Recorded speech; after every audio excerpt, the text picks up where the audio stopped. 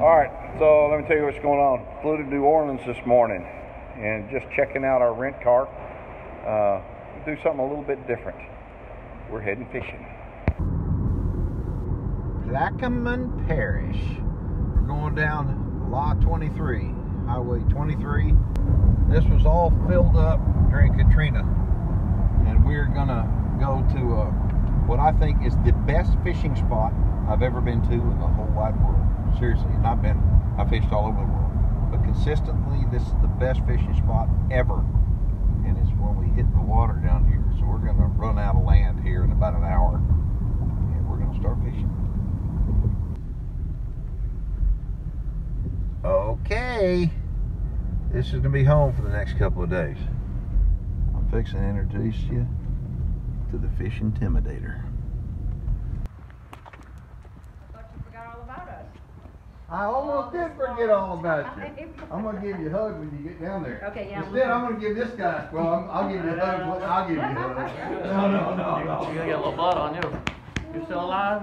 That's the fish intimidator. Okay, that's wrong. We, uh, we knew each other a long time ago, before we started playing with deer and farming. A long time ago, but we're fixing to go kick their ass now. You might not know what a fish is anymore, but. I don't, I don't think I forgot, I promise you. So you caught some?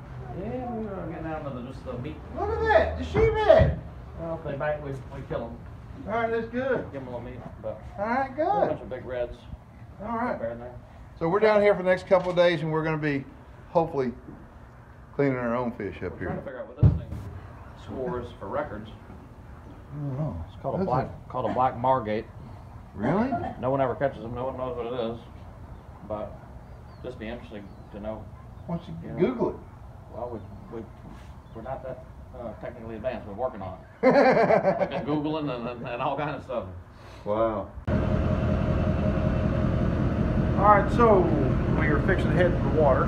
I haven't been here in years and years, but I can tell you right now, this is probably what we're gonna be using.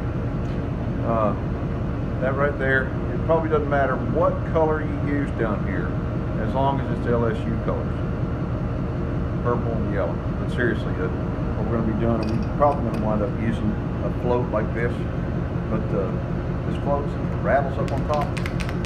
The hear, the fish hear that rattle, come see the LSU bait and eat. So we're fixing to head to the boat ramp right now. Get started.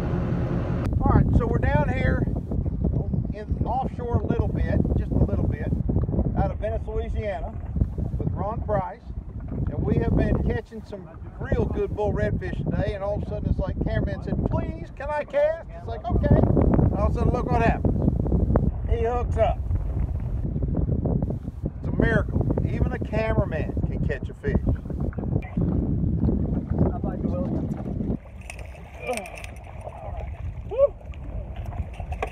Ain't even a big one. Good. Well, look. How big's that? He, he he's a big fly fisherman, and so he's been asking me, "Well, why don't we take a fly rod out there and do it?" So what do you think? I couldn't have brought this thing in on a fly rod. We'd be here next till next week. I'd miss Thanksgiving dinner. Woo! That's a fish. All right. So, got a redfish on here, and we've been catching a whole boatload of them. These are all bull redfish. They're actually too big for us. They're not too big us to keep in Louisiana. You can keep one per day over 27 inches. I don't think we've caught one that was probably under 35 inches so far, but uh, they're biting so good that we're actually getting tired of catching them. Come on. So this is what we do on our day off from hunting. I mean, I'm getting tired on this one. He's not even that big.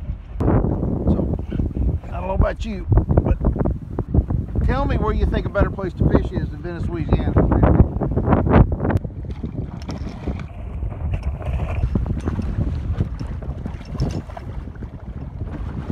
There we go. Ah.